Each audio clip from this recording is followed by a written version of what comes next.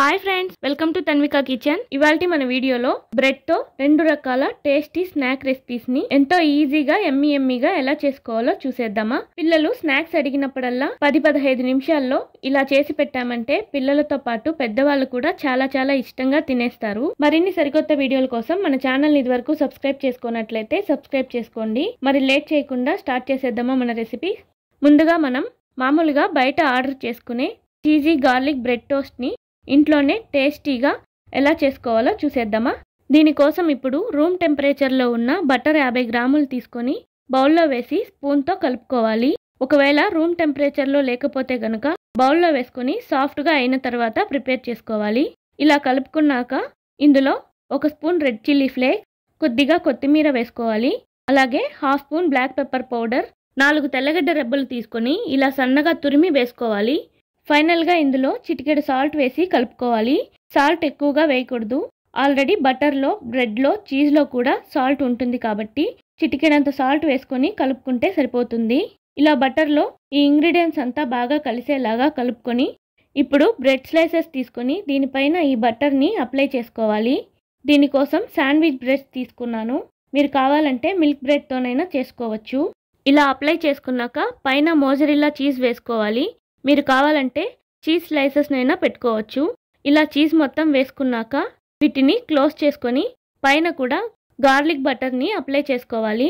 ఇలా రెడీ చేసుకున్నాక stove on చేసి ప్యాన్ పెట్టుకొని ప్యాన్ కాస్త వేడెక్కాక స్టవ్ని సిమ్లో పెట్టి రెడీ చేసుకున్న బ్రెడ్ స్లైస్ని బటర్ అప్లై చేసిన వైపు పెట్టుకొని పైన కూడా బటర్ని అప్లై చేసుకొని మూత పెట్టి ఒక్క నిమిషం సిమ్లోనే కాల్చుకోవాలి.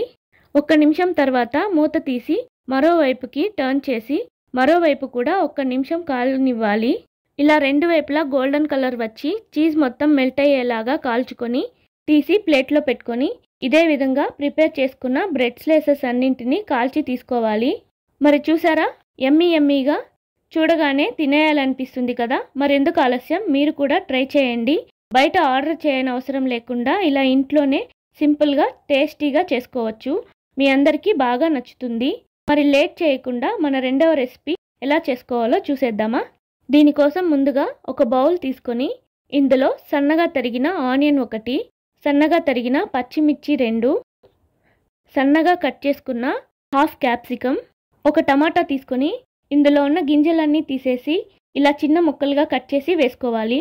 అలాగే ఉడికించిన sweet corns half cup mozzarella cheese half cup half spoon black pepper powder half spoon chilli flakes తగినంత సాల్ట్ ఒక స్పూన్ టమాటో సాస్ వేసి ఇంగ్రీడియంట్స్ అంతా బాగా కలిసేలాగా కలుపుకోవాలి. ఇలా కలుపుకొని పక్కన పెట్టుకోవాలి. ఇప్పుడు మరొక బౌల్ తీసుకొని two spoons mayonnaise two spoons tomato sauce one spoon butter వేసి బాగా మిక్స్ చేసి పక్కన పెట్టుకోవాలి. ఇప్పుడు బ్రెడ్ స్లైస్ని తీసుకొని కట్ చేసుకోవాలి. ముందుగా ఇలా ప్లేట్లో బ్రెడ్ని ఉంచి పైన ముందుగా అంచులు లేని పెద్ద గ్లాస్ తీసుకొని ఇక్కడ చూపించే విధంగా కట్ చేసుకోవాలి. ఆ తర్వాత చిన్న గ్లాస్ తీసుకొని దీనికి మధ్యలో గట్టిగా నొక్కుతూ కట్ చేసుకోవాలి. చూసారా? ఇక్కడ చూపించే విధంగా రింగ్స్ లాగా కట్ చేసుకోవాలి. ఇలానే కట్ చేసి పక్కన పెట్టుకోవాలి. ఇలా కట్ చేసుకున్న రింగ్స్ని స్టవ్ పైన ప్యాన్ పెట్టి కాస్త బటర్ వేసి ఈ బ్రెడ్ రింగ్స్ని ఒకవైపు మాత్రమే థర్టీ సెకండ్స్ కాల్చుకోవాలి. థర్టీ సెకండ్స్ ఇలా కాల్చుకున్న తర్వాత తీసి ప్లేట్లో పెట్టుకోవాలి.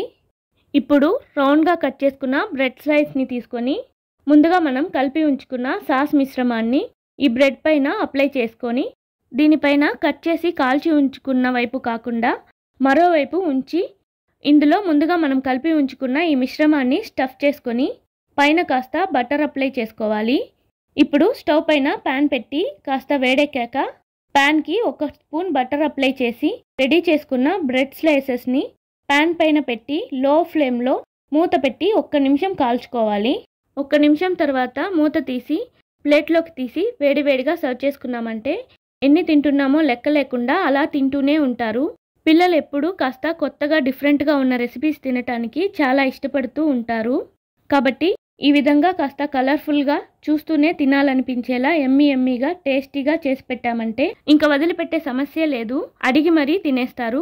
మరి మీకు ఈ వీడియో కనుక నచ్చినట్లయితే మీ ఫ్రెండ్స్ అండ్ రిలేటివ్స్కి షేర్ చేయండి. మరిన్ని సరికొత్త వీడియోల కోసం మన ఛానల్ని ఇది వరకు సబ్స్క్రైబ్ చేసుకున్నట్లయితే సబ్స్క్రైబ్ చేసుకోండి. పక్కనున్న బెల్ ఐకాన్ ప్రెస్ చేశారంటే నేను పెట్టే ప్రతి వీడియో మీకు నోటిఫికేషన్ వస్తుంది. Thank you for watching.